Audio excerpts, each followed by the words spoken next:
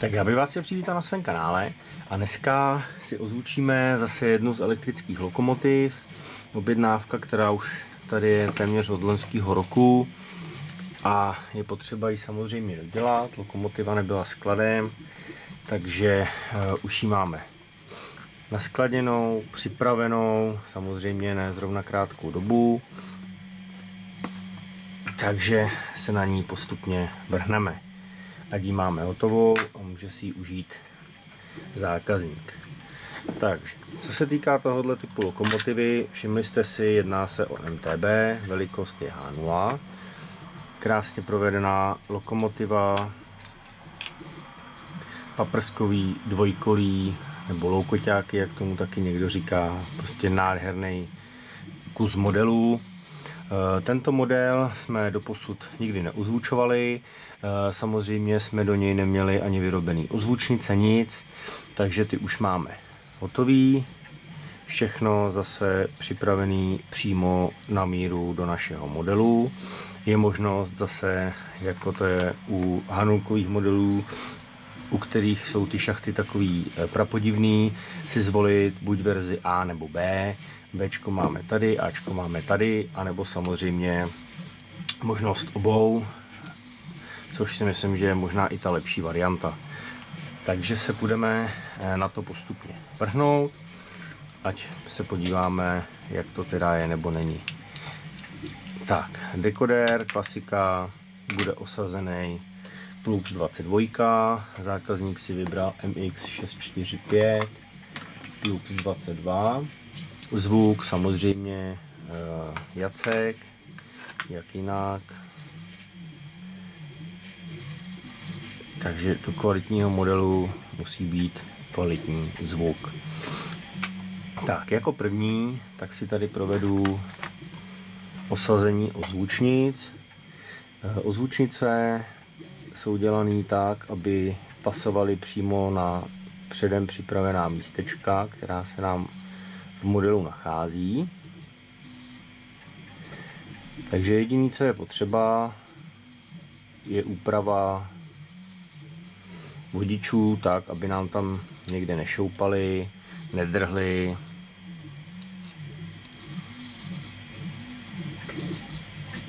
A nedocházelo k nějakému brždění rotace podvozku a podobně. Takže šup, ozvučnici usadíme a vrátíme zpátky interiér strojvedoucího. Vidíme, že nám tady krásně sedí, drátky zůstávají volné, tak aby mohly pracovat společně s podvozkem a nedocházelo k tomu, že nám budou někde drhnout a dřít. To samé provedeme na straně druhé, takže zase drátky si schováme tak aby nám šly souběžně. S podvozkama tady vedle toho světlovodního napájení se nám úplně krásně vlezou a jednoduše umístíme ozvučnici zase na místečko, na který je připravená a jenom lehce zamáčkneme. Nepotřebujeme žádný lepidlo, žádný fixování eh, tavným lepidlem, jako tomu bylo kdysi, když jsem s zvučováním začínal. Tato varianta je prostě schůdnější, lepší a myslím si, že i daleko efektivnější. Tak, drátek na napájení použijem tak, abychom z jednoho drátku udělali jeden nepřerušený a ten jsme naletovali na desku. Takže já vezmu pájku, odletuju napájení, aby se nám to nepletlo, zbytečně jsme si někde nepřiškvařili drátek.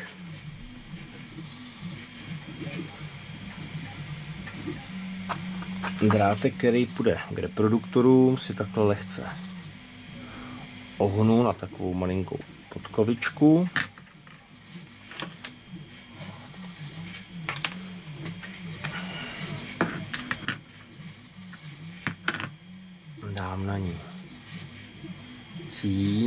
Cín a pájecí pastu.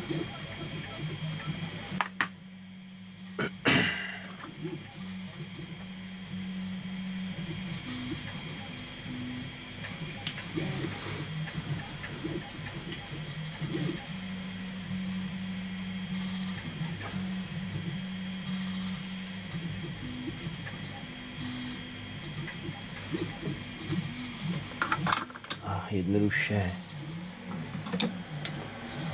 přiletu. To samý uděláme ještě jednou.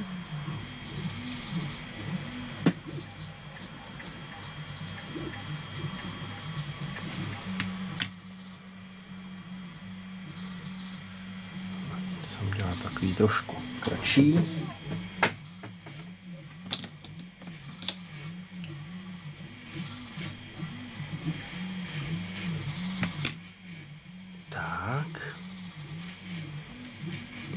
Tady uděláme malou skobičku. Pastu už tam máme, takže naneseme jenom cín.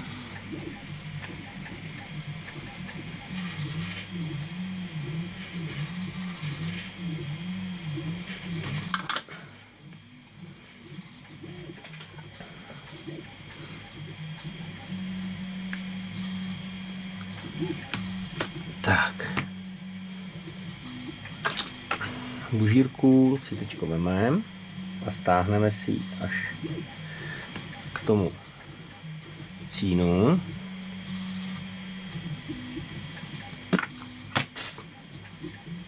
Aby nám nedošlo k tomu, že to bude někde zkratovat.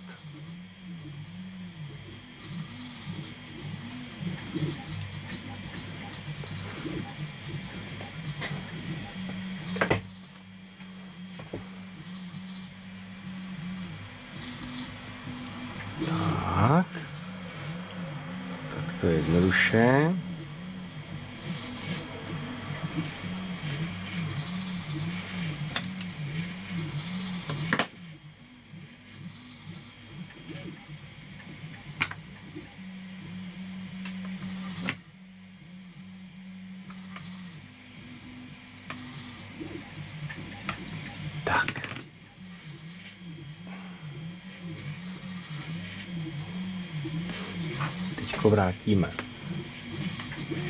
napájení od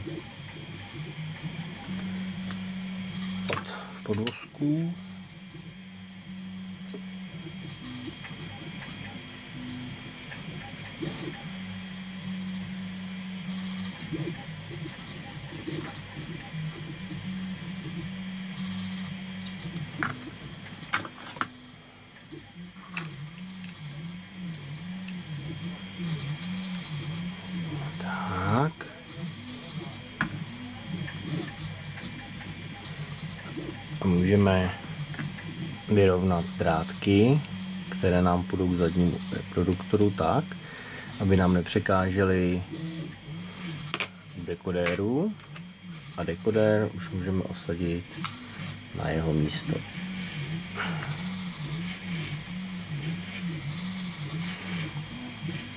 Naměříme si vodiče tak, aby byly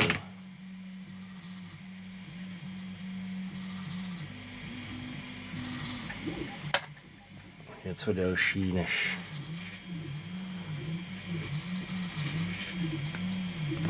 reproduktor, ale zase ne moc dlouhý, aby nám tam zbytečně nepřekážely.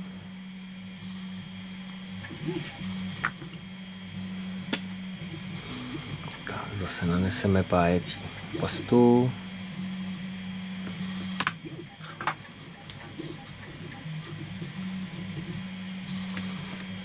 Přiletujeme k reproduktoru.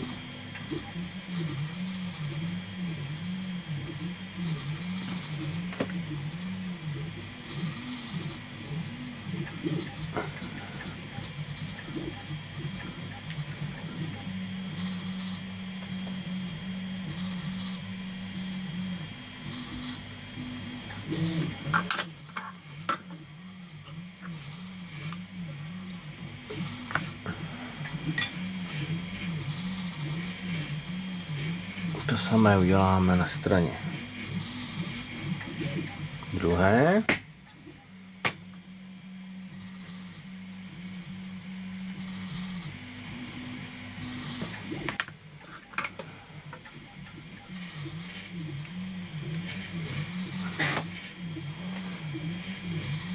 A opět přiletujeme drátek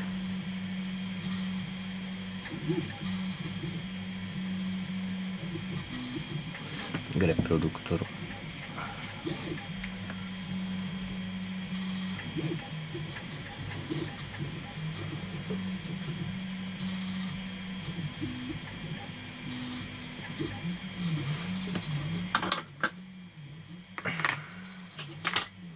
Tak, pokud máme, tady drátky takhle hezky vyrovnáme.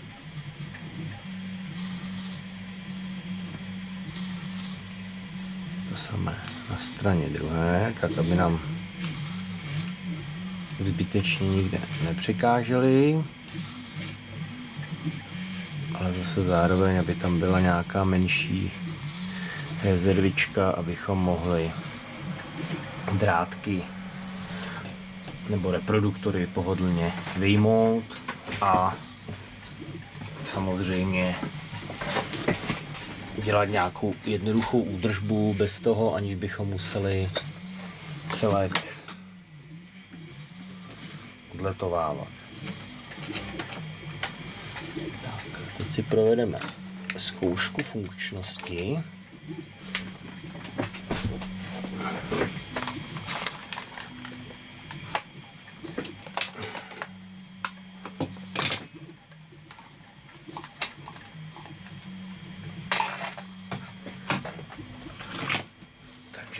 Umístíme model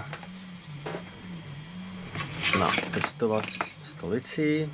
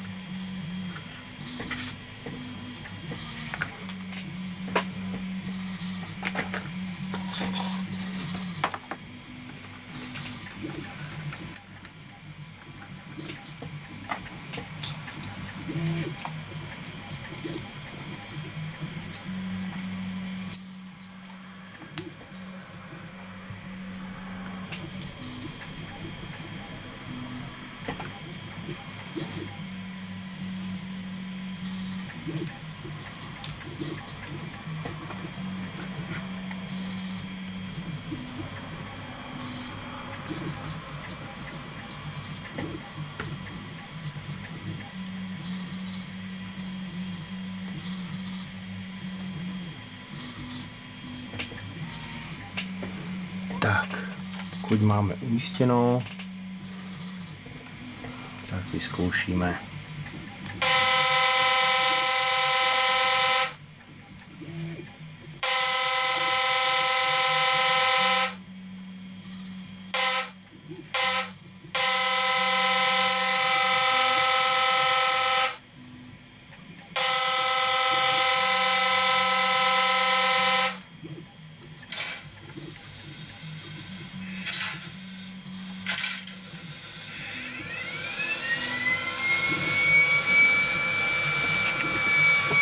Vypínáme světla.